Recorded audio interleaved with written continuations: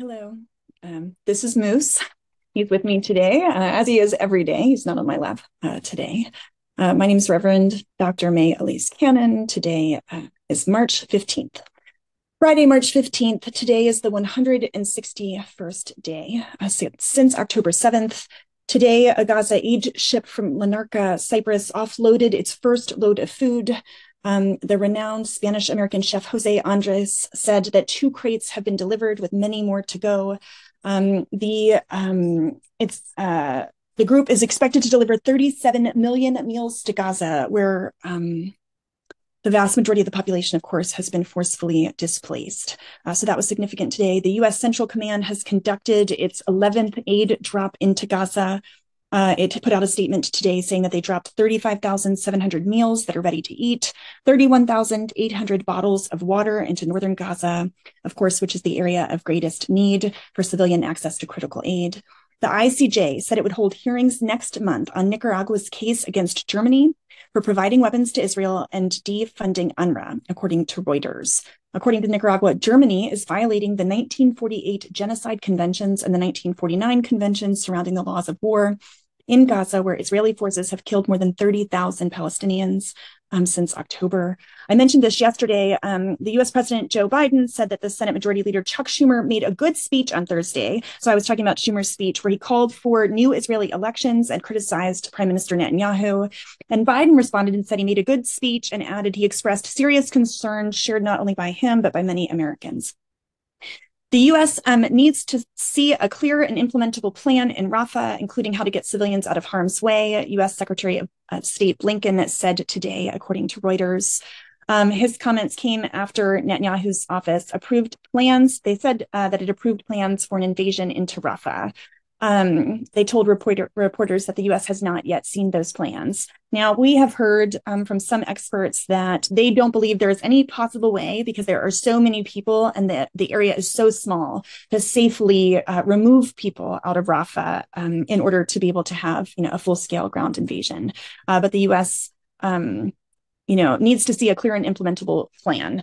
Um, and so, you know, that's something that's been going back and forth about, you know, what is the US's perspective on this? Um, you know, we had heard that Biden might put a hold on weapons, um, you know, if this invasion, you know, proceeded. And so, um, really mixed messages are being communicated. Um, Netanyahu rejected the latest proposal by Hamas for a truce and the release of Israeli hostages in exchange for Palestinian prisoners, saying that the demands are still absurd uh, we can assume that that may be because they have been consistent in saying that they would only release hostages if an end to the war is in sight and if there are assurances that Gazans would be allowed to return to North Gaza.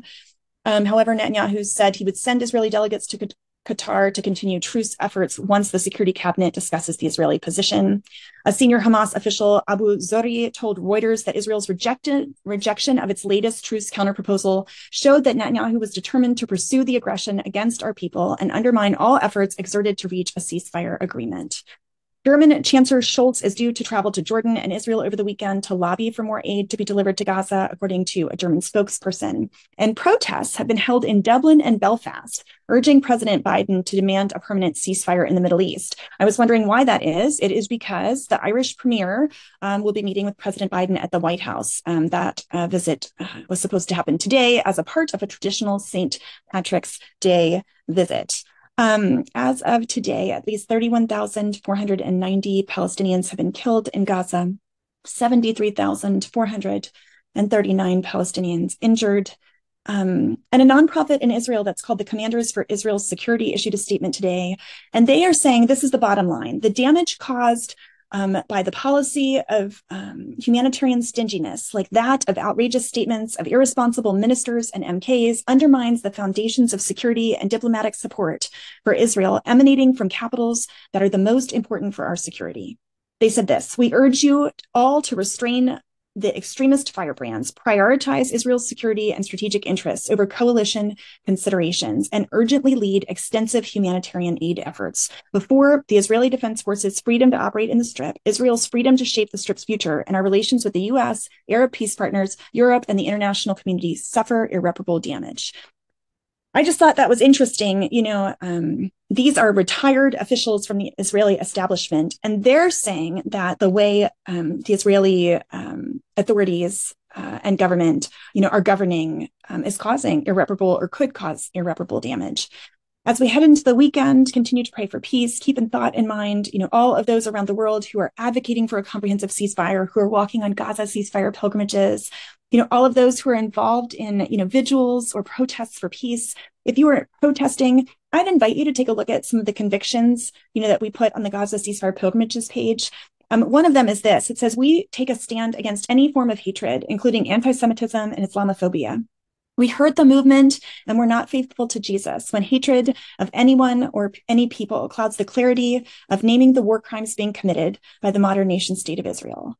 Um, you know, and also Hamas, of course. Hatred, be it racism um, or some other dehumanizing practice, also hurts the much needed collaboration essential to end this horror. We are clear that our battle is not against flesh and blood, but against the powers responsible. If hatred animates your analysis or activism, we are not the movement for you. And so might God, you know, remove any hatred from our hearts and might we be compelled by love to continue to pursue peace.